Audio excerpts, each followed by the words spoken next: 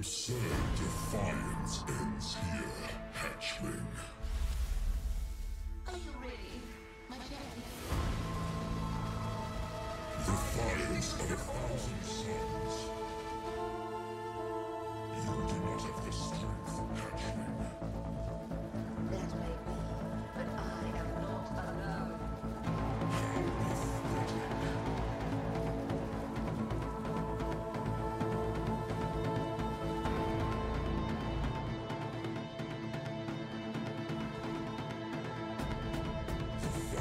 Ah, sometimes if you stand way back here, he won't do it, but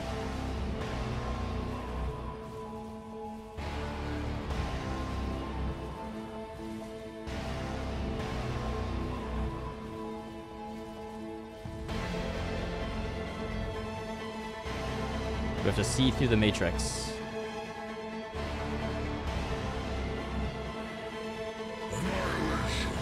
We did it.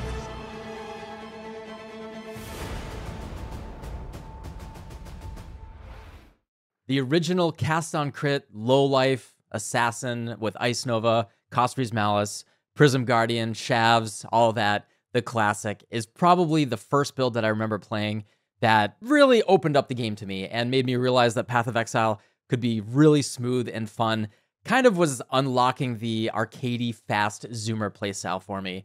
Before that, I had played a lot of other builds that were pretty fun and pretty solid and effective, but there's something about just cast on crit, cyclone, really big spells, blowing up everything, and just feeling like you're a hot knife cutting through butter. And that to me is kind of the quintessential soul of what makes Path of Exile particularly so fun. And then when you find a build that fun, you want to throw a lot of currency at it and really upgrade it because it's just so nice seeing how far you can push it. What this is, is me trying to revisit that nostalgic build. I originally started out wanting to do some sort of Bladefall Blade Blast with the new Bladefall of, uh, or Blade Blast of Unloading. And I kind of at the last minute called an audible. Right off the bat, I will say that this is a build that is entirely enabled by the current charm system in the game.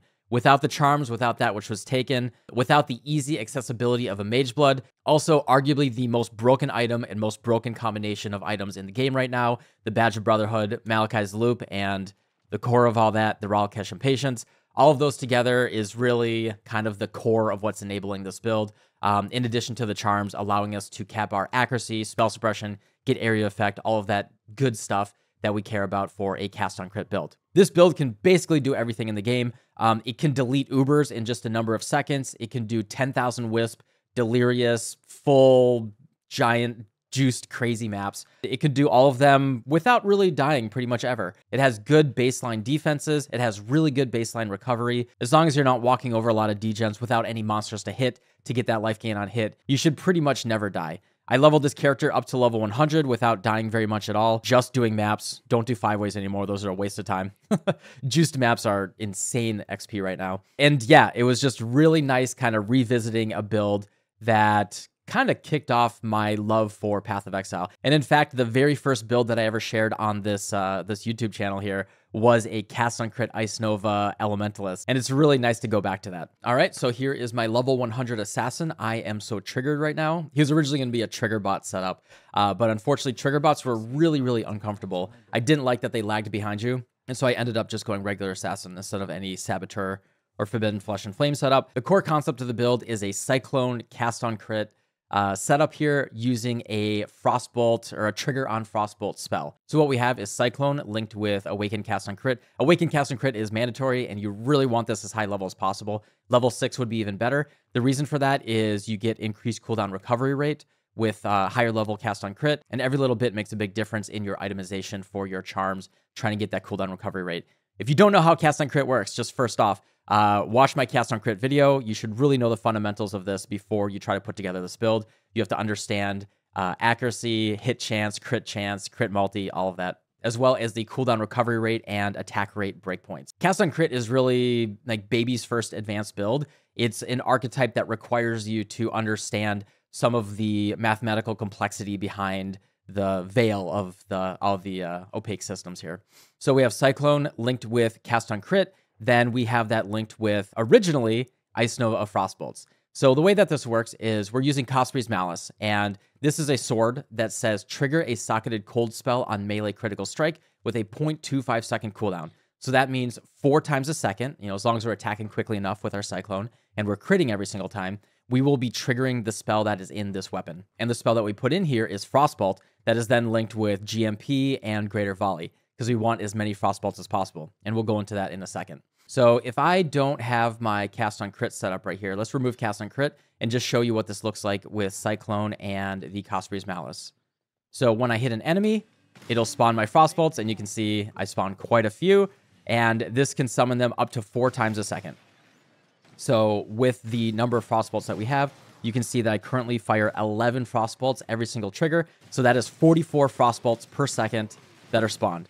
Why do I need that many Frostbolts? Well, let's actually go back to the basics a little bit here first. The traditional version of this build, where this all comes from, historically, the original Ice Nova before this league, before Transfigured Gems, had a cast on Frostbolt component to it.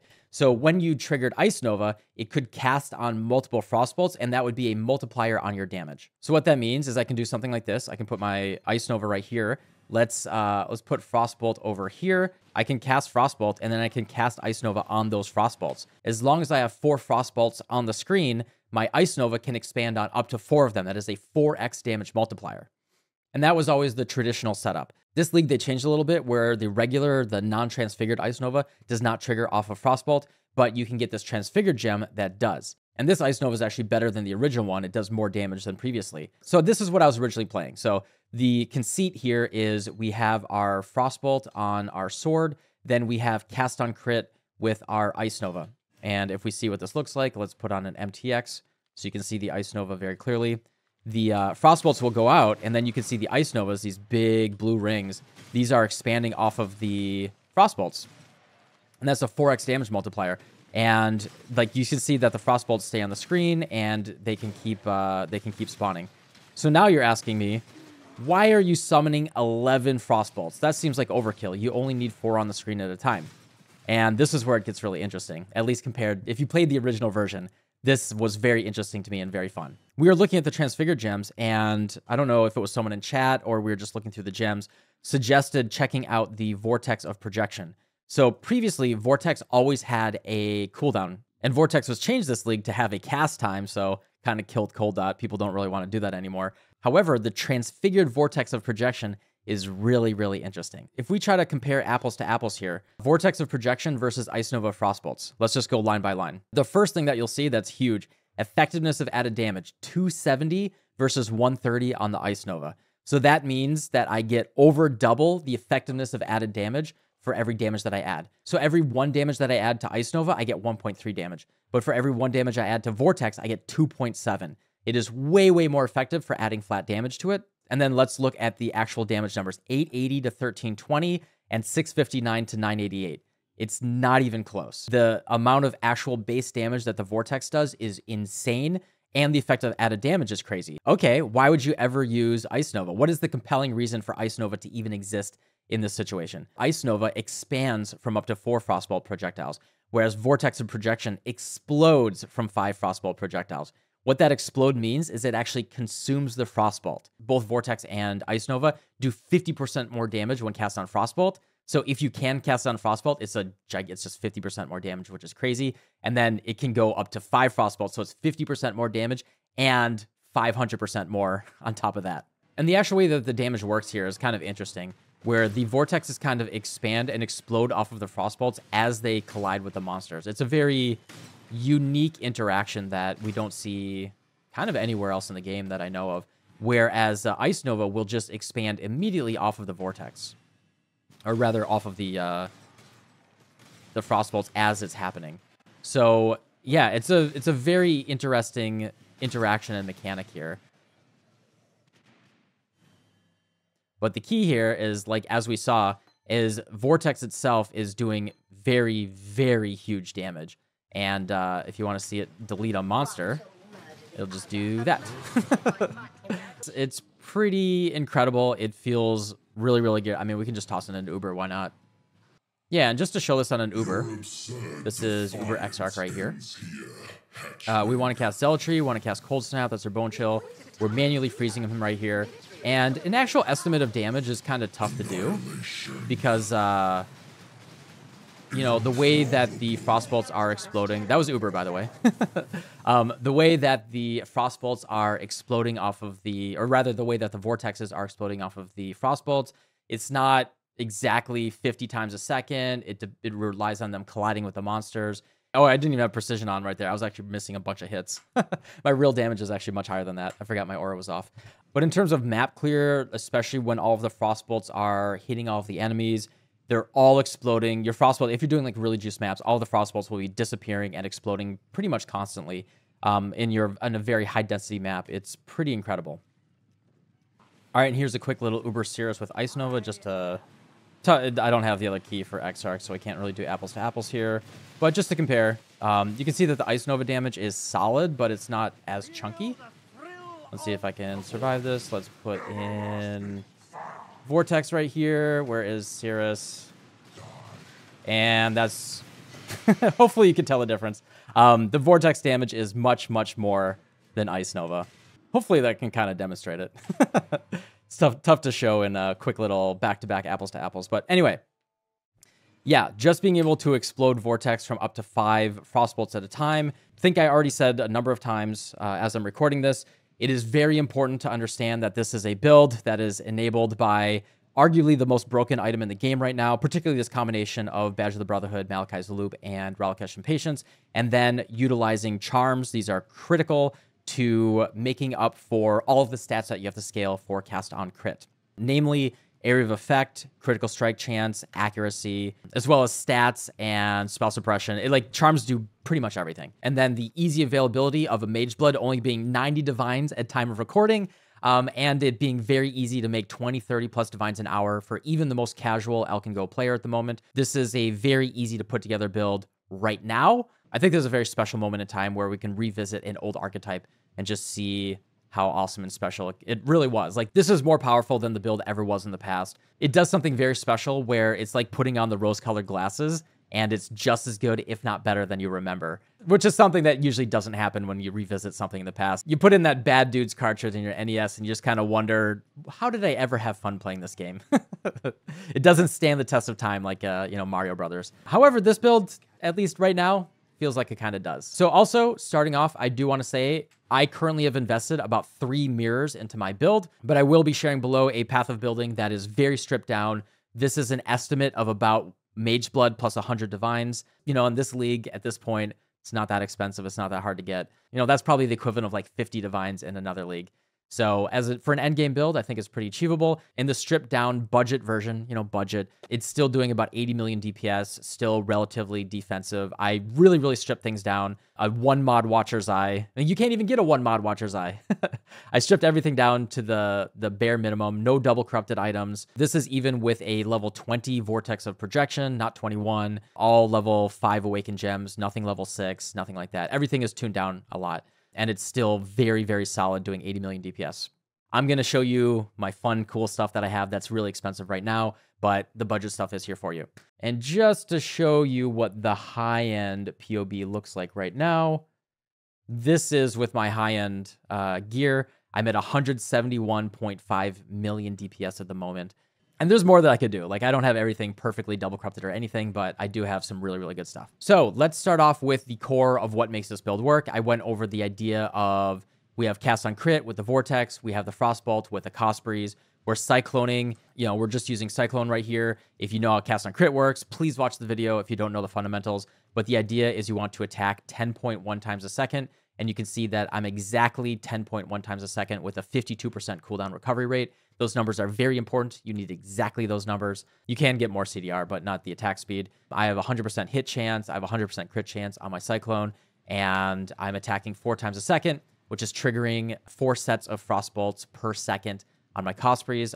I'm triggering 11 Frostbolts at a time, so I am creating 44 Frostbolts per second. I recognize that the POB DPS here is not exactly accurate because it is assuming that I'm triggering 50 frostbolts a second, so it's a little bit less. In real life here, we have include in full DPS vortex and count five for triggering off of five vortexes at a time. So what we're doing is we're using the combination of Ralakesh Impatience. This is the number one item on the chopping block right now. It is super broken. If you are not abusing Ralakesh Impatience, particularly with Badge of the Brotherhood and Malachai's Loop this league, you are missing out. There's a lot of build archetypes right now that are taking advantage of this.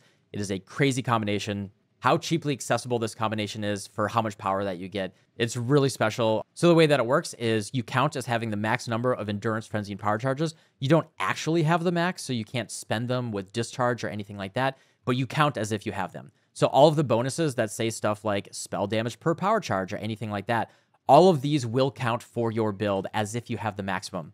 We then combine that with Badge of the Brotherhood, which says your frenzy charges is equal to your max power charges. And so what we do is we stack the number of power charges that we can get on our build. We get the plus three on the passive tree. We get another plus two on the Malachai's loop. And then we get additional wherever we can. Ideally, you get double plus one max power charge rings if you can, and you get spell damage per power charge, all that type of stuff. Because we're an assassin, we get an additional plus one right here. So I actually have a total of 10 power charges, which says that I also have a total of 10 frenzy charges. And I also count as I have the three endurance charges, which is nice for res and PDR. And then because of that, we can do things like Disciple of the Slaughter. You get 8% increased damage per frenzy charge. That's 80% increased damage for our anoint right here. We take things like uh, Disciple of the Forbidden, damage per power charge, crit multi per power charge, so on and so forth. It's the regular charge stacking thing, which has always been around. But in the past, you've had to have a way of generating power and frenzy charges to even matter. Nothing just said you have the max and you count as having the max. And with the new Ralakesh, you can combine that. Then with Malachai's Loop, we get 16% spell damage per power charge, which is 160% increased spell damage with the plus two max power charge that it comes with. Because we're Eldritch Battery, we actually really like the bonus energy shield on here. It's a very cheap item, so we can double corrupt this, go for Fizz taken as, reduced area damage, makes us tankier. And then the downside shocks when you reach max power charges. We are fully ailment immune using a Storm Shroud, so we don't care about any ailments whatsoever. We're using a double corrupted lightning coil. So here's the other really nice benefit of using Vortex over Ice Nova is Ice Nova does not have a duration component, whereas Vortex still has a leftover duration tag on the Vortex of Projection. It still has a base duration and a cold damage over second, even though it's very, very little. And so that duration tag allows us to target socketed AoE and socketed duration on a lightning coil and get plus four level on our lightning coil right here, which gives us really good PDR and it gives us plus four levels on our uh, our vortex right here. And as we all know, gem levels are one of the best ways to scale damage on a spell. Like I said earlier, Mage Bloods are currently only 90 divines. They are basically free. I got my Mage Blood by opening Valdo's boxes and running them at myself, so, you know, kind of earned it, I guess. But yeah, at 90 divines, you know, you can very easily make 20, 30 divines an hour. Check out my Alva farming guide if you don't know how to do that. Locus of Corruption Alva temples right now are selling at five divines each. You can make easily three to four of those an hour. Extrapolate that out. You only have to farm for a few hours and you can buy Mage Blood. The helmet is primarily a defensive helmet. The double fist taken as you can get damage per power charge as well, which is really nice. And then you get spell suppression, res, life. Um, really, really like a helmet like this. This helps our defense a lot. Similarly on the gloves, most important thing is suppress spell damage res, life, all of that. What I did here is you'll see that I have the temple mod with the increased damage against chilled enemies. I bought this with just the suffixes originally, and then I did suffixes can't be changed, veiled chaos orb until I veiled uh, socketed AoE gems. This is a lot cheaper than buying a fractured temple mod and trying to craft it up later. Just try to find good suffixes and then, or even two good suffixes. You can go for a YOLO annul, something like that. That'll save you a lot of money instead of buying the like 50, 100 divine fractured bases. But honestly, even without the temple mod on the gloves, I think I took it out on here, right, in the budget setup.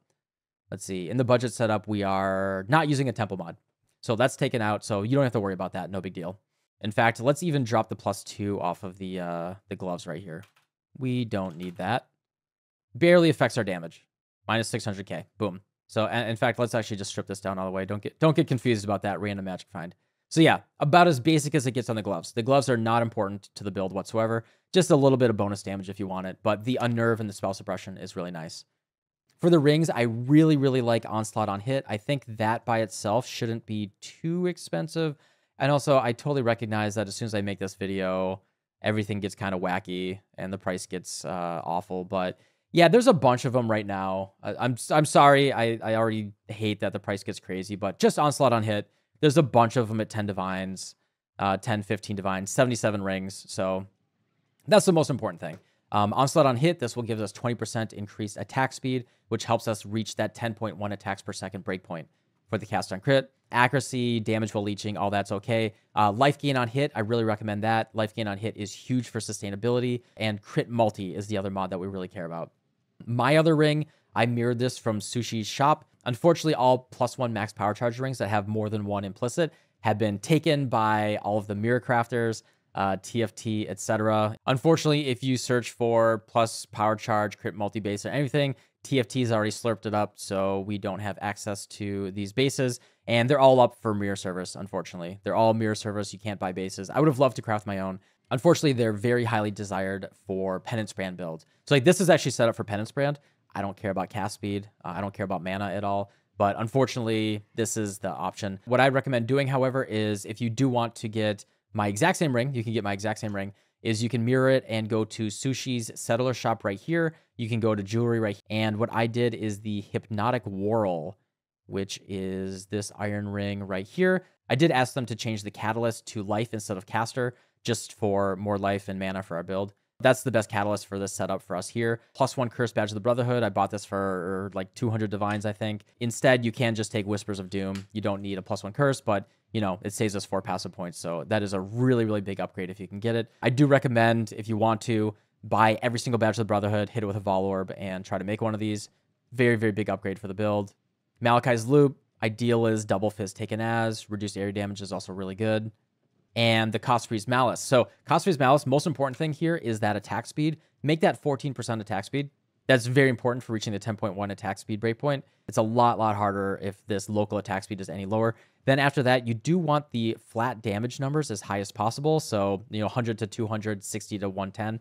That makes a really big difference. As we know, um, Vortex has a very big effectiveness of added damage. So any flat damage that we get from the sword is really big for the build. And then the ideal implicits, I did buy this for a mirror. The ideal implicits here are plus one proj for more frostbolts and damage pens. Honestly, you can get away with not even using the pen implicit. The default implicit of crit multi is totally fine. Penetrate is only a couple percent more damage. It's not a big deal. Most important thing is the attack speed and the flat damage. This is just a absolute luxury. You do not need this sword whatsoever. All right, the Ascendancy, obviously we take the Primalist because this is a charm-based build. Now, there are a number of options. Your most important thing here, because you're a cast and crit build, is getting that 100% chance to crit. You want this on both your Cyclone and your spells. Your spell crit, you'll actually get a lot easier because we do take some spell crit uh, nodes on the passive tree. However, attack crit, we're not directly scaling that in any way, although we do have a ton of power charges. So that's the most important thing you want to look for. You want your Cyclone to say 100% chance to crit, and you want this to say 100% chance to crit in your hideout. Don't rely on POB because Assassin's Mark is going to kind of throw that number off. You always want this at 100% chance. And so what you want to do is focus on getting a Watcher's Eye. Most important thing is just Hatred with critical strike chance.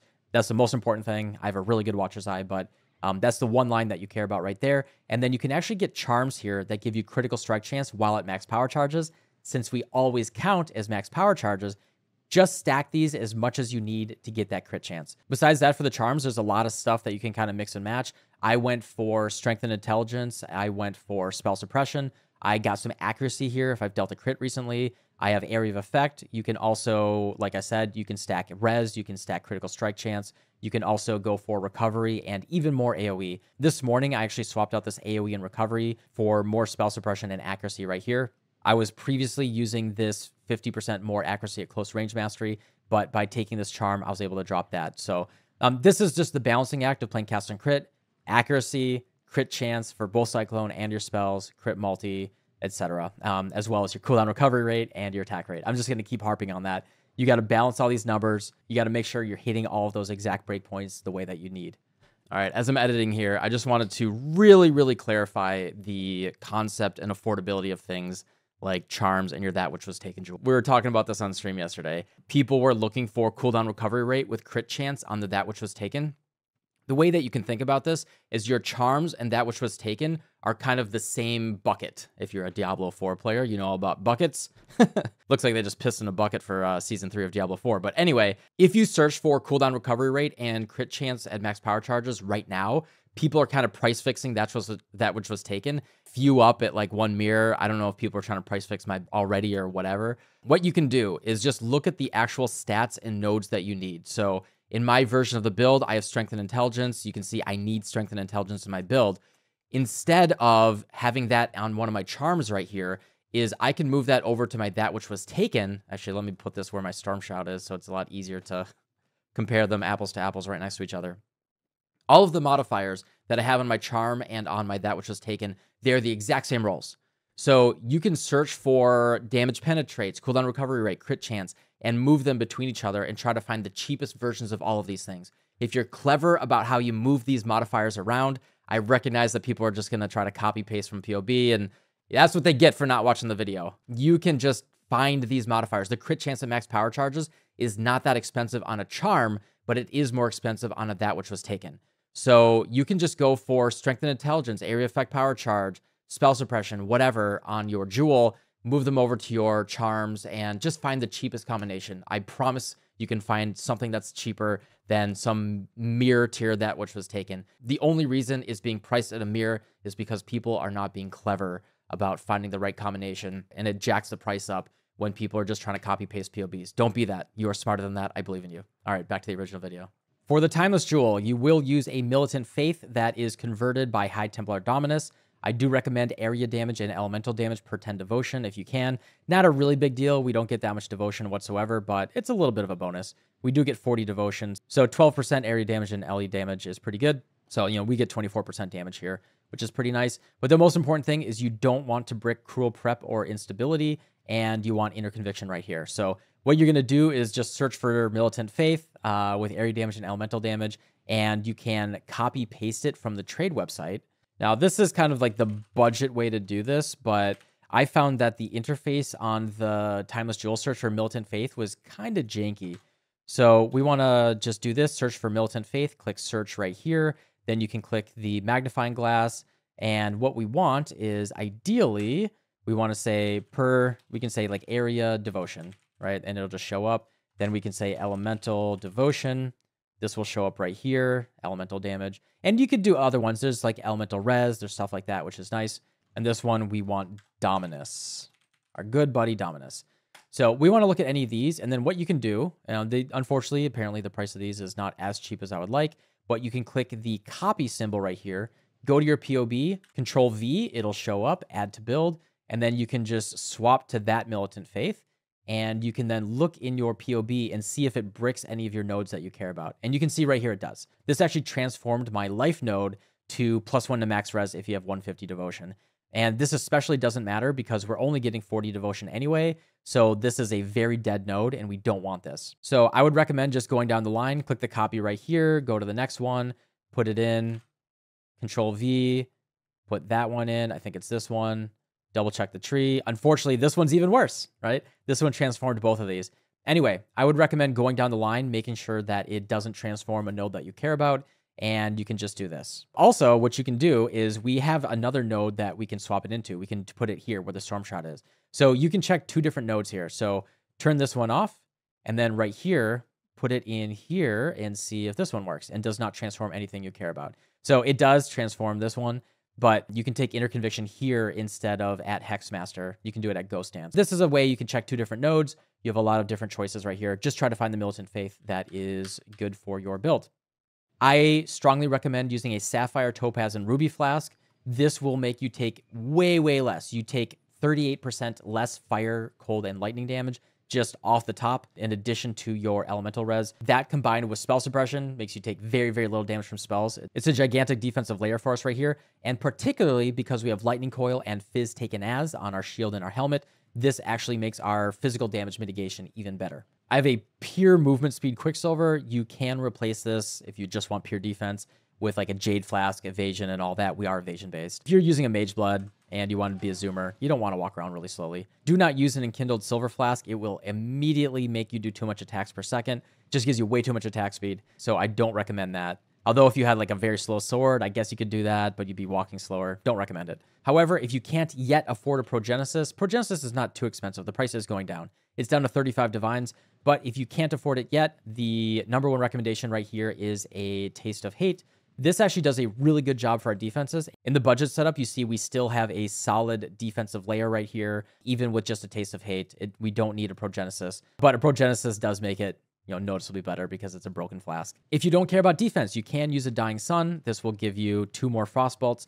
This will help you min max your damage. However, if you do use a Taste of Hate or a Dying Sun, I do recommend replacing your Sapphire or Ruby Flask. You're kind of missing some of the value here. You're not going to be stacking that properly. We use a Storm Shroud. One of our flasks, we do need chance to avoid being shocked on here. With at least 52% chance to avoid being shocked, with a perfectly enkindled flask on your Mage Blood, with a Storm Shroud, you are now fully Elemental Ailment immune. So that's great. I recommend one of your jewels having Corrupted Blood on it, so you're Corrupted Blood immune. Bleed is dealt with by Steel Skin. For all of our small jewels, I recommend just going ham on crit multi. Make sure you hit that attack speed breakpoint. A little bit of energy shield gain per attack is actually really nice. And I have a little bit of mana reservation here. This is actually a very, very cheap jewel, but it allows me to hit my attack speed breakpoint. I just have one of these right here, which is really nice. Other than that, you want to go for, these are expensive jewels. These are like 50 divines each, but you want to go for tons of crit multi and then ideally some life on top of that is really good. So these are kind of like your min-max jewels if you want to go for those. For your large cluster jewels, I recommend one with Blanketed Snow, Blast Freeze, and Widespread Destruction. Just one Blast Freeze is really nice for freeze proliferation, really good for Hail Device, uh, explosion proliferation, a little bit of AoE from Widespread Destruction, and then Blanketed Snow is our best in slot for DPS. And then for our other one, it is pure damage. We are Blanketed Snow and Sadist. For Sadist, you do want to craft a little bit of fire and lightning damage on one of your rings because we have 100% crit chance. We have always ignited and shocked recently. So we get the full 60% increased damage from Sadist. So really, really good value there. And then Disorienting Display, because we are evasion based, is really good. We're using elemental skills all of the time. So with Frost Blink, Frost Bite, all of that. So enemies are basically blinded all the time, which is really nice.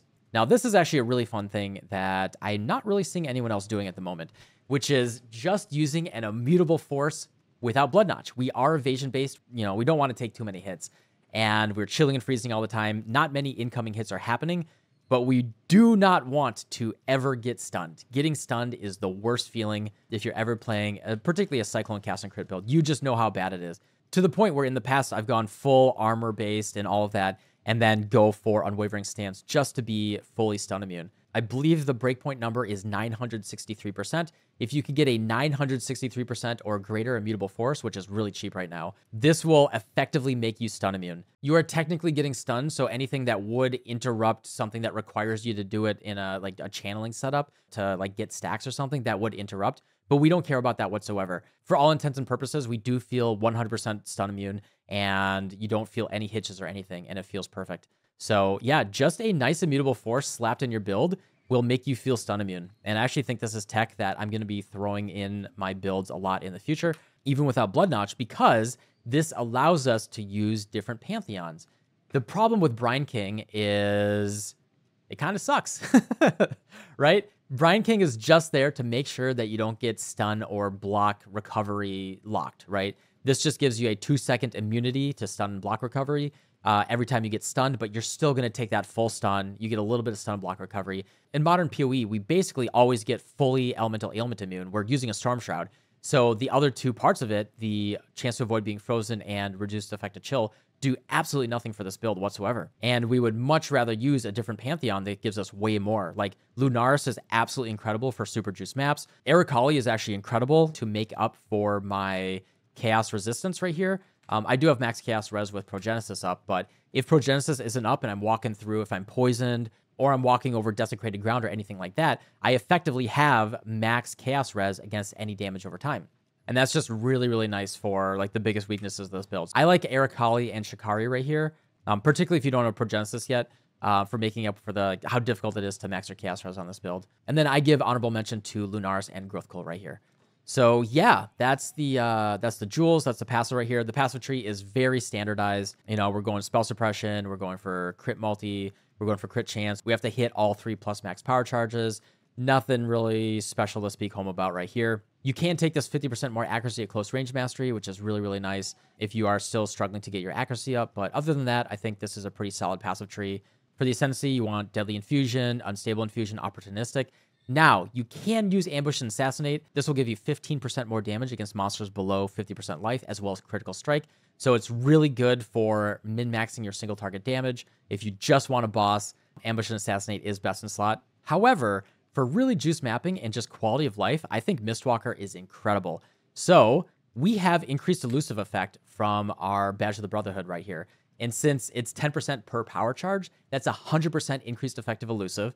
And we get elusive on critical strike. We get another 50% increased elusive effect. So we actually start off at 250% increased elusive effect. So it's really, really strong right off the bat, right? We're avoiding tons of damage from hits. We get a ton of movement speed. And then this will reduce over time. And then we're immediately going to go back to 250. So, you know, it's a slow degradation, hits zero, goes back to, to 250. You're always elusive, which means you're also crit immune. Crit immune, I think, is a great defensive layer. I think Mistwalker is just the best choice right here. Or you could even Forbidden Flame and Flesh, you know, one of your assassin nodes and take the one that you're not using. And that's a cheap option as well. And in fact, if you're still using really, really budget jewels, I think that's a great option just to grab one of these nodes. I think that's actually a really smart choice. Then for the gems in the weapon, Frostbolt with ideally Awakened GMP. We want as many projectiles as possible. Greater volley right here. I'm using Vitality to enable my Watcher's Eye. You could drop Vitality if you wanted to. If you're only using a level 3 Enlightened, you can just get a low level Vitality. A little bit more life regen's nice. We are using Divine Blessing Zealotry to get our more damage from the Zealotry right there. Level 21 Frostbite is the most important thing right there. Cold Snap with Bone Chill and Frostblink. We have these three linked. So Bone Chill says that enemies chilled by supported skills take increased damage by that chill effect. So as we're mapping, Frostblink will be chilling the enemies, and that's going to be giving us a little bit more damage on the chilled enemies but it's not going to be a gigantic chill. Frostblink's not hitting really, really hard. However, Cold Snap has a 23% more effective chill for its quality. So ideally, you want a 23% Cold Snap that is linked to the Bone Chill right here. So before you do single target, you do want to cast Cold Snap, and that will give you a lot more damage. If you want to min-max this, you can use Awakened Unbound Ailments with the Bone Chill, if you can drop Vitality or something like that. That will make your chill effect much, much stronger but I think that's, you know, kind of overkill. We're already doing so much damage. I'm running Grace Precision Hatred with a level 4 Enlightened right now. Then I'm running Steel Skin on left click, Assassin's Mark with Mark on hit, and Herald of Ice. So Herald of Ice is not giving us a ton of damage, but it does make our clear really, really nice in combination with Blast Freeze with all of the freeze prolift. And it's particularly good because we have so much base critical strike chance that our Herald of Ice actually has over 50% chance to crit. So Herald of Ice is critting itself freezing enemies and proliferating those freezes. So it's really good for just exploding the entire screen. Then the body armor, we have Cyclone, Cast on Crit. Awaken Cast on Crit is necessary. You can't use the regular one. Um, just buy a level 5 Cast on Crit ASAP. Vortex of Projection.